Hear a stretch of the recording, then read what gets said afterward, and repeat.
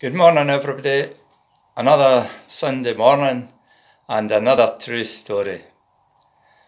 A number of years ago, two of my works colleagues had been travelling back from Edinburgh doing the beef tub Pass early evening, and one of them hit and killed a wee deer.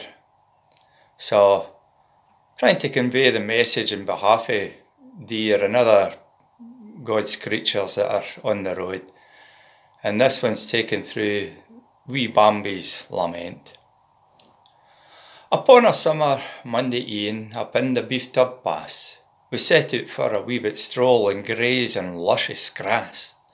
We came upon the tarmac road, we cross miss every day.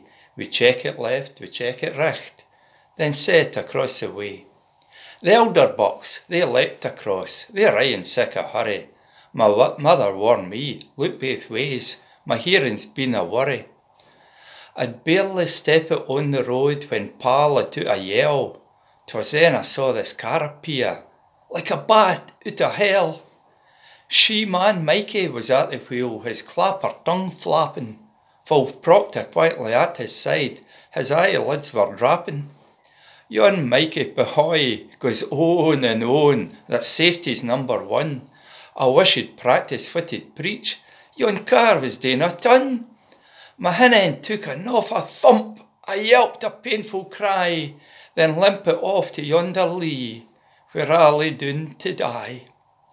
I'll leave you this sombre thought each time you tack the wheel, to concentrate and tack your time, so beasts like me don't squeal. Slow down all you bampots in the road and take care. For the rest of us, stay in and stay safe. Have a, a lovely quiet Sunday. Bye folks.